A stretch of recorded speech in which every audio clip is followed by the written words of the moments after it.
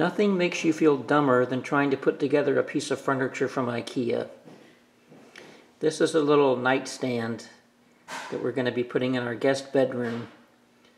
Uh, very small little nightstand. How many pieces could a nightstand possibly have?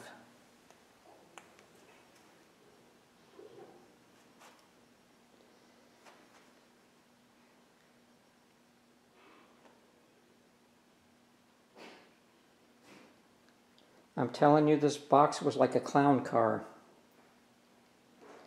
Piece after piece after piece after piece came out of that box. How many pieces do you need to make a nightstand? I'll get back to you guys next week when I get this thing put together. Show you what it looks like finished. And here's the IKEA nightstand, finished and painted. Uh, this one actually wasn't that bad. I only made one mistake putting this one together, which for an IKEA project, uh, if you've never seen the instructions, they're all pictures. There's no words in the instruction sheets.